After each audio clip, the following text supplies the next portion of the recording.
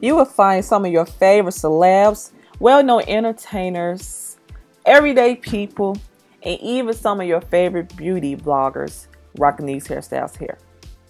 Here's how to do a Messy Goddess braid plus top knot. Don't forget to subscribe.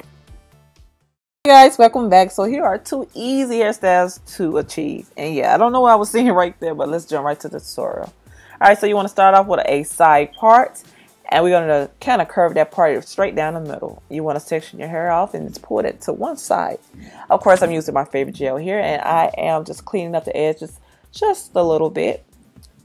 And then once that's done, I'm using the side of my brush to kind of help mold the hair into place. And then now I'm just French braiding my hair. Alright, so you French braid your hair towards the back. Make sure you don't do a tight stitch because we will make this braid look mess messy. and then on to the other side, you want to do the same thing for the other side.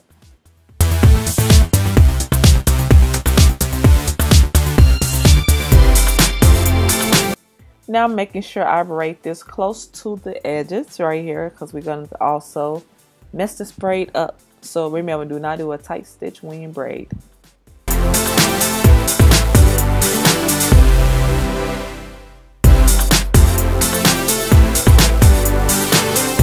Alright, so from the start of the braid, you want to go ahead and start tugging at the stitches. So don't tug too hard, alright?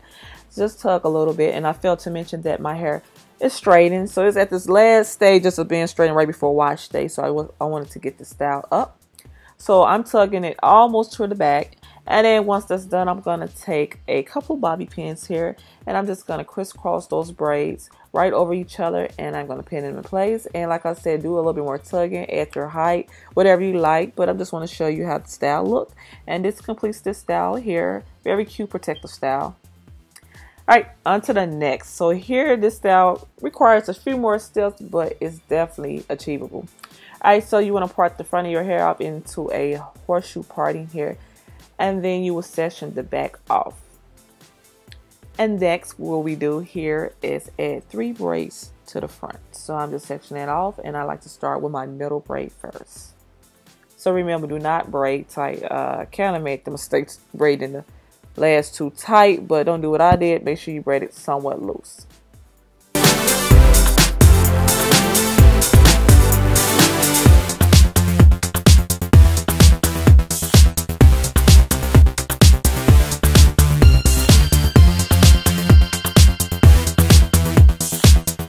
Only applied a little gel to the edges. You don't really have to do that. Remember, sometimes you have to be careful of your texture when um, doing your styles because you know, you don't want one part of your hair look slick and the other part don't. So just keep that in mind.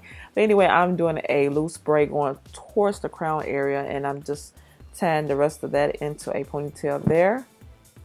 And then I'm loosening this up. So I know you all have seen these styles. They're so cute and they're so easy. And the great thing about it, they're messy. Like it don't have to be really neat. So that's why I really like these hairstyles here. But keep tugging. You want to create as much volume as possible. Whatever you like to do, go ahead and do that.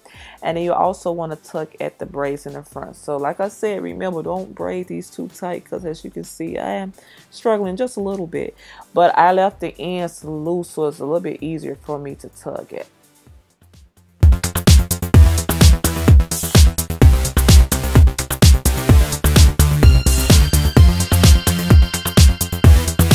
Now that we got our braids the way we like them, so now I'm just pinning my hair into a, like a top knot bun here.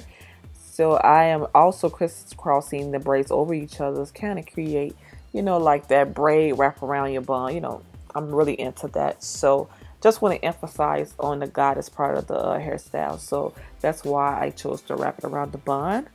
And this pretty much completes this hairstyle as well. Very cute, very chic. Um, yeah, I go in, tug in a little bit more. I use a few more uh, bobby pins to secure the sides down because I don't want as much volume on the sides.